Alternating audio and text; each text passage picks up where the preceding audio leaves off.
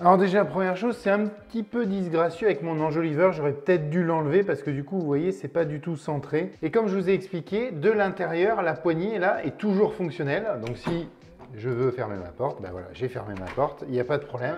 Et pour l'ouvrir, vous avez juste à tourner cette poignée et vous pouvez l'ouvrir sans aucun souci. Maintenant à l'extérieur. Alors vous allez tout de suite comprendre l'importance de la dimension entre le milieu du barillet et le bord de la porte. Regardez-moi à quelle distance ça passe. Vous voyez, il n'y a même pas un millimètre. J'étais vraiment à la limite. Alors déjà, pour fermer la porte, quand vous sortez de chez vous, bah, vous ne pouvez pas la fermer puisque ça, c'est complètement libre si on n'a pas fait le code. Donc, pour fermer la porte, c'est ça qui est un peu pénible par contre, je trouve, il faut faire le code comme si on voulait l'ouvrir. Donc là, je vais mettre un code utilisateur qu'on avait rentré 5, 6, 7, 8, 9 et je rappuie dessus.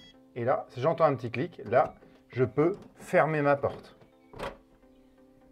Au bout de quelques secondes, elle va redevenir complètement molle.